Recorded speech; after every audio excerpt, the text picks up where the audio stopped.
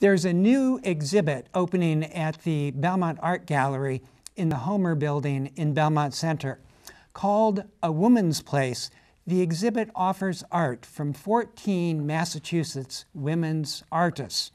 The message of the art speaks to what it means to be a woman.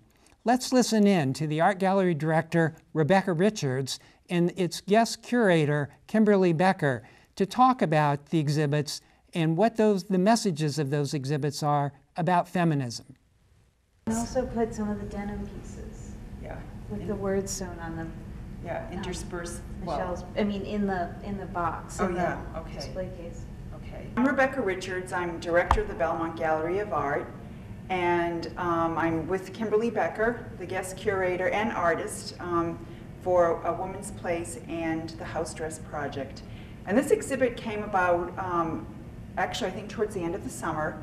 Kimberly um, and I had a meeting, and she approached me with the idea of doing an exhibit um, to um, display some of her house dresses. Uh, so I am uh, finishing my master's degree right now. So I'm getting my MFA at Hartwood College of Art up in Maine. And uh, for my final work, I'm doing, uh, I call it the house dress project. So I am sewing dresses and I paint a house on the front of the dress. And then I embroider the story on the back. Each dress is about one woman's story. So women have been telling me their stories, and I find out their address and get a picture of the house and paint the house on the front that they were living in when the story happened. And then I put their story on the back of the dress. The, the stories range widely, but there's this, this like, it, it, they come together as a unit and it feels like you're giving these women a voice for once. Uh, so the artists that we invited to be part of the show, there are 15 of us in total, 15 artists, uh, all from Massachusetts, and like Rebecca said, age ranges, you know, from young 20s up into the late 70s.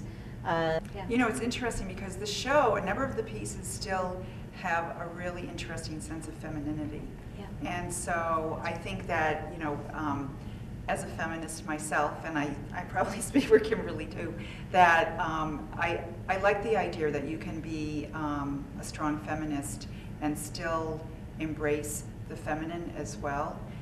And so I, I really like the fact that this show does have a number of fiber-related pieces because, I, again, I think that speaks to women's history. And it's also, I mean, being feminist doesn't mean, it's not a harsh thing. It doesn't have to be aggressive. It doesn't have to be in your face. It's just being who you are and feeling comfortable being that person. So that's, that was what we were trying to do in this show. We were trying to not, not be too um, over the top with it because that just alienates people. We're really trying to discuss letting women speak for themselves and be women. Um, and I think it's very emotional too. And I think that women, I'm hoping in a, number of ways that women coming through the show and men, because I've had men already ask me, am I welcome to come to the show? Of course. Yes, of course you are.